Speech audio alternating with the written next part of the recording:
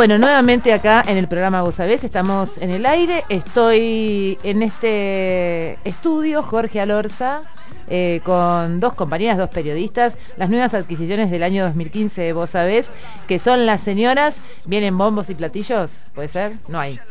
No tenemos, no tenemos, porque nuestro operador técnico, vamos a hacer eh, la presentación formal de nuestro operador técnico, que es nuestro querido amigo Amilcar Burgos, tuvo un, problemita ahí con la bicicleta, se le pinchó la goma, no sé qué, y ahora sí, nos dejó este, a cargo del operador técnico anterior un fenómeno que arrancó y él está ahí tratando de ver a dónde está sentado. Está sentado acá en la radio estación sur operando vos sabés.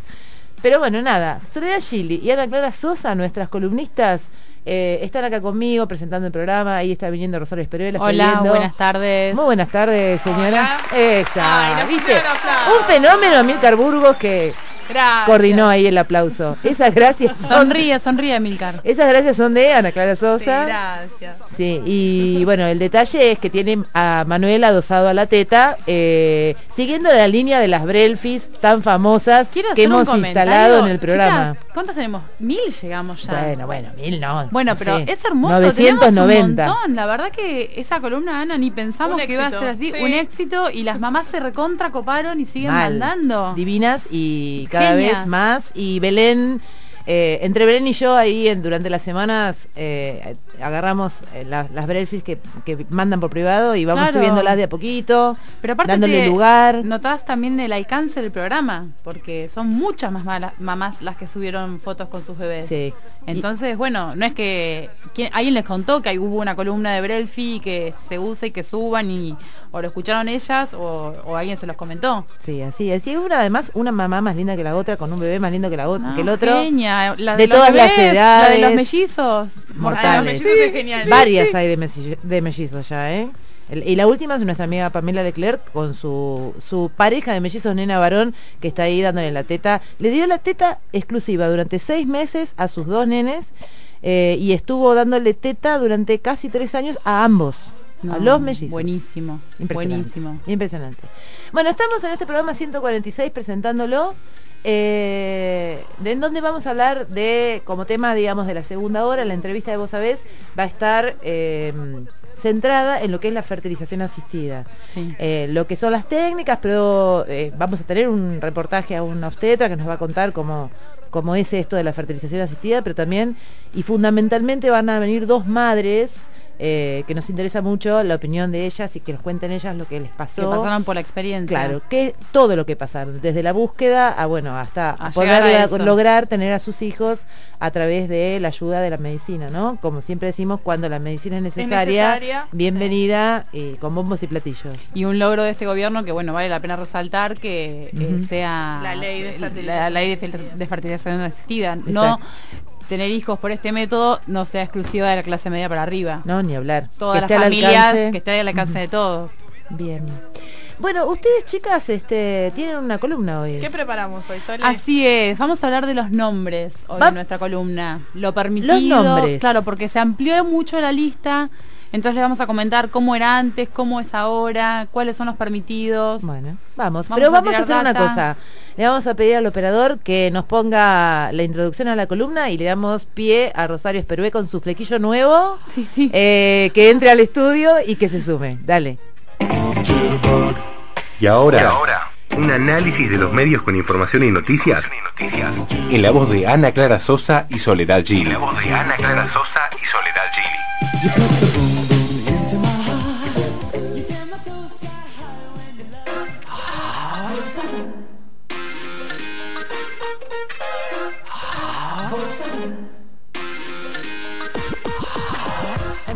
De tus ojos se ve, vos sabés que estamos vivos sin saber para qué. En el fondo de tu alma puede ser o no ser, vos sabés que continuamos sin saber el por qué. Y que tus ojos ven lo que quieren ver. Tu piel conoce del dolor y del placer. El deseo reversible, ya es varón, eres mujer, no lo ves, no lo ves, no lo ves. Bueno, así formalmente presentadas, Ana Clara y Soledad van a, comentarnos a ver cómo es esto de los nombres. Que había, antes no se podía poner cualquier nombre, ¿cómo era? Claro, por ejemplo, ahora, ahora tampoco se puede poner cualquier nombre igual. No, pero, pero se amplió. Sí. La idea es porque eh, bueno, vamos al principio como lo habíamos, por lo menos habíamos planeado la columna. Eh, pero les explico. Antes, para poner nombres como por ejemplo Juan Seco Comel, había que presentar un expediente. Lo que ahora con el nuevo Código Civil, con la actualización. Juan. Juanse, Coco, Mel, Calu, Lilo, Noa, ah. Nacha. Ellos, esos son nombres. Claro, que hoy son nombres familiares para nosotros, claro. pero le podés poner, no es que le tengas que poner Rosario para decirle Charo. Como pasaba ah, antes. A mí me encanta ah. Charo, le pongo Rosario. Hola. Me encanta. acá está Rosario. Acá estoy, ya que me mencionaste. Hola, Ros. Porque además no sos una Charo. No, me preguntaron decirme, porque en algunos lugares a las rosarias les dicen charo. Claro. pero este es un tema que. ¿Querés que te digamos charo a partir de hoy? Eh, y ya, mira. Yo si les contara cómo me llegan a decir en algunos ámbitos, no, se puede reproducir al aire. Eh, no, este es un programa que yo había pedido. Sí, sí, fue, fue, pedido por vos. Porque, por ejemplo, una compañera nuestra de la ONG, hasta hace poco tiempo, eh, no le pudo poner Rosario a su hija porque ella quería ponerle solo un nombre. Y hace, ¿cuánto? ¿Dos meses atrás? Sí, hace... Un par de meses atrás. Sí, había eh, que poner otro nombre que denotara sexo. Eso, porque podía ser femenino, masculino, bueno. Eh, o sea que esto, esta nueva ley de ahora es... habilita, habilita eso, a que puedas poner un nombre sin tener que, denotar sexo, por ejemplo. Bueno, se, la arranco como lo habíamos planeado. Estos nombres que acabamos de comentar son algunos de los sobrenombres que fueron elegidos por padres de bebés bonaerenses en los últimos meses para llamar a sus hijos y así los pudieron escribir en el registro civil. Durante la gestión de Scioli se aceptaron más de 80 nombres de bebés que no estaban permitidos, agregándolos a la lista de orientativa que tiene el registro para que los de, que es de más de 4.000 nombres que tiene el registro para que los padres que no llegan decididos al registro puedan elegir el nombre. Esta lista también la pueden encontrar en internet, ya les digo la página www.gov con .gba .gov .ar, barra portal, barra subsecretarías, barra gabinete, barra registro, barra nombre. Bueno, vamos ahora le decimos a Belén, a Belén que, la suba. no se las repito ni loca. No, no, no.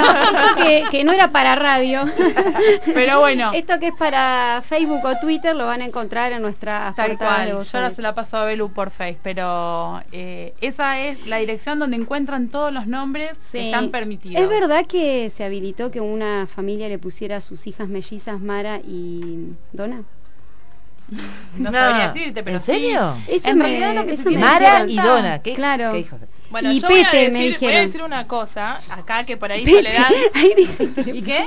Pete. No, es mentira, eso es mentira porque, mira, te digo, en, en, lo que estuvimos Pero el padre habló por, por los medios y dijo que, que sí, que si había... Jodido. No, que si hay gente que le da doble sentido no es culpa de él.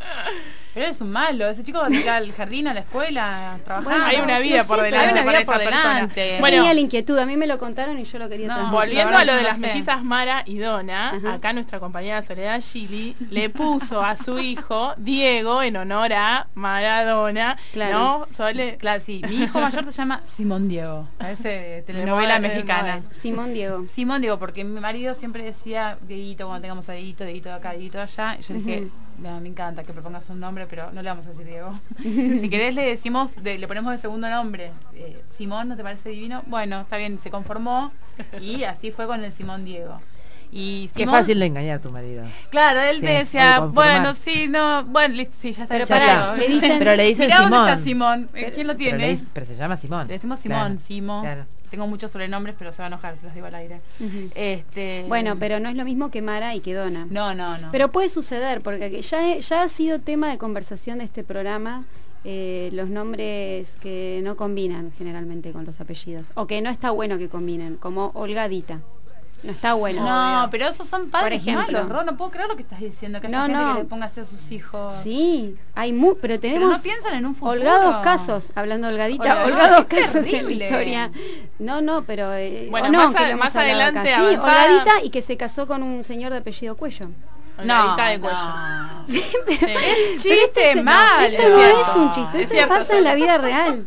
Es así. Pero son cosas que uno, por ejemplo, el otro día, pero a ver, el otro día estaba leyendo una, nota del diario, ¿no? una nota del diario. Porque acá ya hemos tratado en este programa el caso del médico que haciendo una cesárea cortó un bebé. ¿Cómo era el apellido del médico? Se Navajas. Navajas. o sea, un señor que apellido Navajas estudió eh, para ser cirujano. Bueno, el otro día, y esto lo leí en el diario, y nadie ponía jajaja ja, ja, en el diario mientras escribían la nota, un señor de apellido Vaca se hizo veterinario y se dedica a defender a las vacas, de las vacas, los derechos de los animales, en este caso estudia a los bovinos. Y ¿qué dice? Belén dice, aporta, a ver, termina. bueno, bueno entonces el señor Vaca defiende a las vacas. Mi otorrino dice garganta. Ahí está, no, el otorrino que se, que, se, que se llama garganta. Bueno, pero o la ginecóloga Pito. Una cosa es que tu nombre te define tu identidad, incluso tu profesión. Y otra cosa es que tus padres decían arruinarte la vida poniéndote holgadita, no sé, cuello holgadita, no sé qué, qué como dijiste. Es tremendo. No, no, no, Olga, le pusieron Olga de nombre. Pero bueno, bueno, pero el de Pete vos dijiste que es verdad. Bueno, el de Pete sí es un, ahora que se habilitaron los nombres, un... Pero eso no se habilitó. Pero... Te, sigo comentando lo que investigamos. Sí. Y, después más adelante, Sole, haciendo, eh, trayendo a colación estas cuestiones de, Igual, pero, las personas que sufren con los años, eh, la carga de sus nombres se puede cambiar. Después, después hablamos Chicas, a ver, colegas, colegas, ustedes que pasaron por la Facultad de Periodismo, Teníamos un profesor de radio que, hola, ¿cómo andan? Me llamo Pete. Ay, no me acuerdo. Era así, se presentaba así. bueno, no sé cómo se llamaba, pero le decían Pete y él decía, hola, soy Pete. Acá parece que las chicas no fueron a la misma facultad que Rosario. no, no, pero bueno, porque la tenemos a Charo, no más Rosario. Es Charo. Bueno, yo sé que hay algunos ahí que están escuchando y van a, van a saber lo que Sí, se van a estar riendo. Sí, sí. Bueno, bueno esas cosas suceden. ¿Te, sigo contando? Dale. no, no, no, porque estoy viendo por dónde iba y se me va. Eh, en el registro civil explicaron que se tiende a utilizar cada vez eh, nombres cortos. Y entre ellos aparecen los, los apócopes, mira que yo lo practiqué, apócopes, que es la supresión o pérdida de un sonido en el final de una palabra. Viste que ahora se usa Ian, Bastián, que son los finales de los nombres. Eso también están autorizados en los registros civil. Con la reforma del código eh, argentino, las restricciones al uso de los nombres propios cambiaron y ya son muy pocas. Ya no es requisito que denote sexo y tampoco que sea en castellano, aún teniendo traducción a otros idiomas. Si vos le querés poner Jeremy, te lo dejan poner. Ahora, claro. Ahora sí, vos vas y quiero que se llame Jeremy Díaz, listo. Pero ¿por qué no le pones Jeremías? No Jeremy. Bueno, Pero ¿por qué es la elección de cada uno? A ver, y le pueden poner Maradona, también puede haber un Jeremy Díaz. Sí, sí, sí. sí, por supuesto. Ahí está el bebé que después el bebé. Ah, ese fue Manu. Pensé bueno, que era. Eh. está, es el real, es un bebé real. En la provincia de Buenos Aires hay un criterio muy amplio y flexible y siempre se prioriza el derecho de los padres a elegir el nombre de pila, excepto cuando se trate de nombres peyorativos. Por eso te, decía, no creo que sea el caso de Peche, pero bueno, si vos lo escuchaste por la radio, obviamente que te creo. Porque eh, los nombres tienen que tener respeto, tienen que, llevar al respeto y a la dignidad de la persona. Estas son eh, palabras del secretario eh, Álvarez Echagüe, que es el subsecretario general, subsecretario de gabinete, perdón. ¿Qué dice la nueva ley? El Código Civil dice que no pueden inscribirse más de tres prenombres apellidos como prenombres, primeros prenombres idénticos a primeros prenombres de hermanos vivos y tampoco pueden inscribirse prenombres extravagantes. Esto lo dice el artículo 4 eh, capítulo 4, cuarto, artículo 63, inciso B. es decir, que la típica de antes, yo, les estoy diciendo, yo eh, me imagino... María Laura, María Emilia. Todas Marías, claro, todas Marías no se puede más. Eso nunca se pudo en realidad. Mira, yo ¿Cómo no se Pero antes era recontra si nosotras somos las tres Marías, ¿no? Pero, no son... Pero uno, si, si se atiene a lo que dice estrictamente la ley, no, no se puede. ¿No se puede tener más de una hija María? No. Yo soy melliza y mi mamá nos quería poner María Soledad y María Victoria. Y no nos entonces mi mamá se llama Ana María, muy egocéntrica, ella nos puso Ana Soledad y María Victoria. Vivió su nombre en nosotras dos. Pero no, no la dejaron en el registro civil por ponernos María y María, claro. ya estando en el antecedente de las Pero el tema es que ustedes eran mellizas y fueron a notarlas a las dos juntas. Quizás eh, los casos de, las hermanas Marías Calles porque fueron un año, a los tres años, a los dos años y no constataron claro, como mi caso, claro, Tal cual. Es, por eso, pero en realidad. O, las trillizas de oro son tres Marías. Fueron las tres juntas. estaba el antecedente, ¿eh? a mi mamá no la dejaron. Claro. Bueno, también permite que los hijos lleven el apellido del padre o la madre de acuerdo a los padres. Si quieren, pueden llevar el de los dos, eso lo dice el artículo 74. En la provincia de Buenos Aires hay 25 bebés ya con el apellido de la materno. Bueno, tuvimos el, acá, gracias, gracias a Laura Vázquez, que la tuvimos acá al aire de la radio antes de que ella eh, lograra por eh, por un trámite, un trámite de excepción, de excepción sí. que tuvo que judicializar sí, no, lo, no lo terminó de judicializar porque al final se, lo reconoció en el mismo registro de, las, personas. Bueno, y marcó un lindo antecedente. Yo le decía a Anita que yo estoy muy arrepentida de no haberlo puesto, puesto mi apellido a mis hijos. Y en cualquier momento sí, lo hago, pero tengo que hacer el DNI nuevo. Ya tengo el DNI de los dos, ya hice todo el trámite. Es, o sea, la fiaca lo que me, lo que me mm. está frenando. Pero realmente creo que los hijos deben tener el apellido de la madre y me encanta que haya madres que lo pongan antes. Yo creo que tendré una disputa familiar si me planto con que quiero que, mis hijos lleven mi apellido antes, pero eh, me parece realmente que las madres cumplimos un rol fundamental y que al ser las que llevamos eh, a nuestros hijos en nuestro vientre nueve meses, tenemos todo el derecho a, poner el apellido antes o los dos apellidos, como mejor lo, resuelva la pareja. Les cuento el, ¿Querés decir algo? No, no, dale, El respecto de los nombres. Sí, sí, sí. Eh, en los 450 registros civiles y en casi las 70 delegaciones que funcionan en maternidades ya no se pide el nombre del recién que el nombre del recién nacido denote sexo y para los extranjeros solo se solicita que se pueda pronunciar. En la provincia esperan que sean raras las excepciones que requieran autorización vía expediente, lo que pasaba antes cuando le querías poner un, Coco, Lilo o, algún nombre de estos. Los rechazados, si bien el criterio cada vez es más amplia, la dignidad de la persona es lo que se intenta preservar desde el Estado a la hora de autorizar un nombre nuevo. Entre los que no cumplen ese requisito fundamental, en estos últimos años figuran agua para nena, fox para varón y pinta para nena. Pinta no se puede poner. No, ni agua para nena. A mí me gusta agua cuando lo eligen, es feo agua para nena. Pero bueno, sí. Bueno, pero da pie a esto que decíamos de que el día de mañana sufra. Igual viste lo que es la subjetividad. El, bullying. Eh, sí, bueno, por eso. Pero es muy subjetivo, porque vos quizás, no sé. No, aparte para una persona un nombre puede ser un orgullo y para otro ese mismo nombre puede ser una carga, obviamente. De todas maneras, eh, si, si no te gusta el nombre, vos lo podés cambiar, lo ¿no podés cambiar. Lo que pasa que en ese, en ese caso lo que hay que alegar a través de un trámite judicial, no es tan simple cambiarse el nombre, es justos motivos. Así se llama la, la, cláusula. sí. Eh, los justos motivos es precisamente esto, que a, que vos te signifique eh, bueno, un perjuicio, que, lo vivas como un pesar. Bueno, mi, viejo era abogado y yo recuerdo que le cambió el apellido a, a un cliente que era Angulo.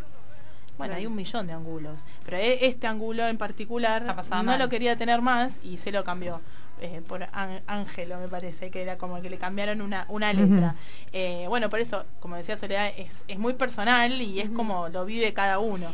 Además, el tema del nombre no, es, no hay que tomarlo tan a la ligera porque, a ver, no es que yo mañana me quiero cambiar el nombre y me lo cambio y por ahí soy un, un prófugo de la justicia o tengo cargas pendientes por, no sé, deudas, por ejemplo. O sea, no, la, la identidad es algo, algo muy muy importante, digamos, que, no, no, es algo como lo que se pueda cambiar de la noche a la mañana y porque no, hablar. Bueno, a mí me alegra que se pueda, que haya salido esta ley porque tuvimos cantidad de casos que habían sido rechazados con todo lo que implica llegar al registro cuando tenés un bebé recién nacido, con el padre y que te reboten, ¿no? Y, y nos rebotaban, nos rebotaban. Me acuerdo de eh, también un caso que tratamos acá en el programa de una mamá que le quería poner Sur a su hija y que no podía, bueno, y se quejaba porque dice, ¿por qué le puedo poner Brian y no Sur? Bueno, y ahora Sur... es una cuestión muy, cultural Ahora Sur está permitido es, es, una cuestión cultural y como como la cultura es un organismo vivo, digamos, va, creciendo y se va modificando, está bueno que la ley esté a la par de, bueno, de, estos cambios, porque como explicaba Sole, que tienen que, los nombres tienen que no ser extravagantes, por ahí eso es lo que se va corriendo. Lo que para nosotros antes era extravagante hace unos años, hoy nos parece normal. Entonces, bueno, la ley en ese sentido. Sí, y además hay modas, ¿no? Hay años que de repente esto siempre está, los años, eh, la, por una novela sí, ahora que están los, de la novela esta de las mil y una noche, que están no las. Sí, ya ahora quieren ser los Onur, se van a llamar Onur y Sherazade, Sí, bueno, claro, es, es eh, cada tanto dicen, bueno, los nombres más elegidos en el año 2014 son bla bla bla. En, y hay modas, ¿no? Sí, ah, totalmente. Eh, hay nombres que uno dice, este nombre es antiguo qué sé yo, ¿no? pero en otra época mi hija es un poco antiguo por ahí, Sara es sí, sí. Pero volvió, Sara volvió, sí, como bueno, bueno Simón hay miles. Yo pensé que era original cuando le puse Simón a Simón y Y se puso de moda. Y Santino también, que es mi otro hijo. Sí. Sí, ahora también. Sí. Y te iba a decir que en mi grupo de amigas somos siete, tres nos llamamos Soledad. Claro, bueno, es una moda. Evidentemente bueno, que, eh, generacional. Claro, y no están solas. No. No, por suerte. Está, está en una chispa. Charo está, chispita. Está chispita. Está chispita. Porque ya, sí, sí, ya. Pará. Eh, ¿Y Lorena cómo sería un sobrenombre? ¿Un sobrenombre de qué? Sí, de Lorena, además de Lore. No, no, Lore no. Yo les voy a decir una cosa. a ustedes, a ustedes, a ustedes se los acepto porque las quiero y porque son una especie así de, prolongación de mi maternidad, todas ustedes. Pero a mí me molestaba cuando era chica, me molestaba rotundamente el Lore. ¿Y qué, cómo te gustaba? Lorena, me gustaba todo mi nombre.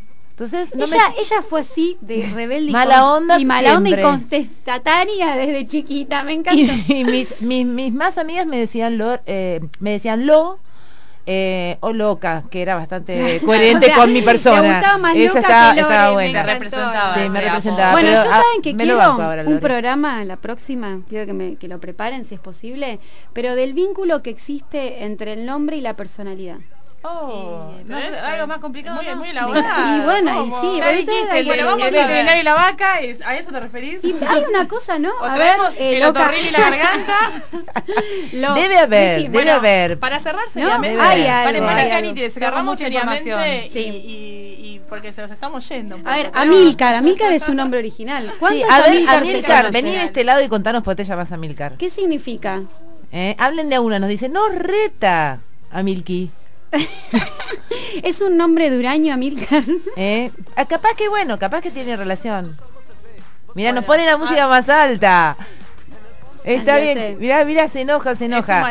Bueno, no importa, para la próxima cuando hagamos la interpretación de los nombres, acordate de, averiguar a Milcar. No sé si te lo prometemos para el año. Durante el año, está bien, Vamos pero ansiosamente. Vamos viendo. Vayan viendo. Bueno, lo que, lo que vale resaltar de todo esto es, eh, digamos, la, necesidad que tiene el ser humano de forjar una identidad y el nombre es la primera instancia. De, ahí comienza todo. Eh, eh, bueno, por eso, inscribir a nuestros hijos es fundamental para que sean sujetos de derecho. Hay un montón de nenes en el mundo que no son inscriptos en el registro civil por varias cuestiones. Eh, la pobreza es la principal y estar excluidos del sistema, lo cual lleva a mayor exclusión porque al, no estar eh, registrados, digamos, como, decía recién, no son sujetos de derecho, son las personas invisibles. Bueno, hay muchas personas invisibles. Eh, en el mundo y bueno, vale llamar la atención a esto y la importancia, más allá del nombre que elijamos, de, anotarnos y de existir y hacernos valer desde el principio. Ahí está. El derecho a la identificación y a la identidad. Vamos a irnos. una, cosa más con la nueva, con la reforma del código. También eh, están eh, las personas transexuales que eligen tener una vida diferente a la que con el sexo que nacieron, que también pueden eh, cambiarse el sexo, cambiarse el nombre. Y bueno, tener, llevarlo con más dignidad por el hecho de que en los aeropuertos son las mujeres por acá, los hombres por acá. Ahora ya para votar es una cola única, pero siempre también habían resaltado mucho que tenían que ir a votar y iba vestida de mujer a la cola de hombre o viceversa. Bueno, ahora ya se pueden cambiar el nombre también con un trámite bastante sencillo en un juzgado y pueden llevar el nombre que las represente. No, estaba viendo la pauta Bueno, no importa. nos vamos a ir. En alusión, en alusión al tema que viene Por eso, y bueno, ahí está. Nos vamos a ir con un tema.